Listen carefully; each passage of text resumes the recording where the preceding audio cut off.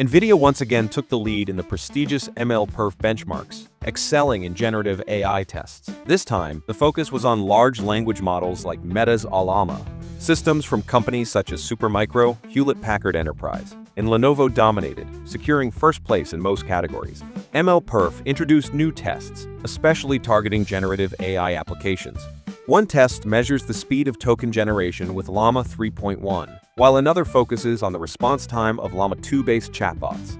Additionally, a test for graph neural networks was added, which are increasingly used in AI, such as for protein folding predictions. Though AMD showed competitive results in two Llama 2 tests, NVIDIA remained the top performer overall, particularly in the closed division where configuration requirements were most stringent.